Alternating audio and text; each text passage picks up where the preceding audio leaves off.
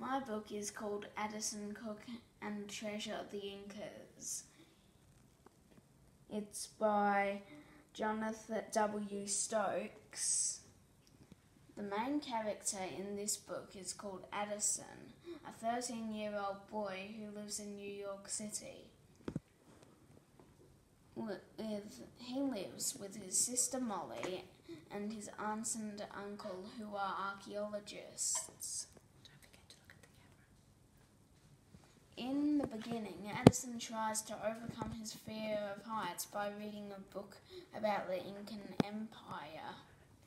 He goes uh, to uh, the museum to see his uncle, but his uncle, uh, but his uncle, uncle has been kidnapped together with uh, his aunt by a Russian called Professor Rhaegar.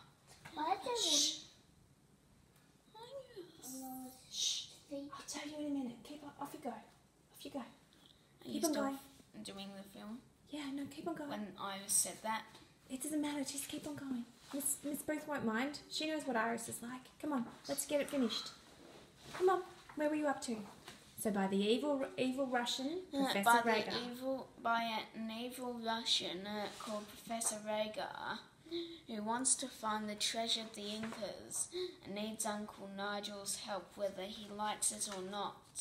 Addison assembles his sister and his friends Eddie and Raj to travel across South America to rescue them and find the treasure for for the museum.